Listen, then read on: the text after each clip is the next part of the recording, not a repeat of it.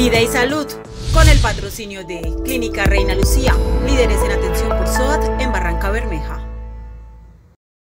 Aumentaron los casos por COVID-19, así lo dieron a conocer las autoridades de salud quienes en el último reporte notificaron 16 casos nuevos en 9 mujeres y 7 hombres para un total de 95 casos activos en la ciudad. Desafortunadamente se notificó el fallecimiento de una mujer de 70 años de edad quien no logró superar la enfermedad.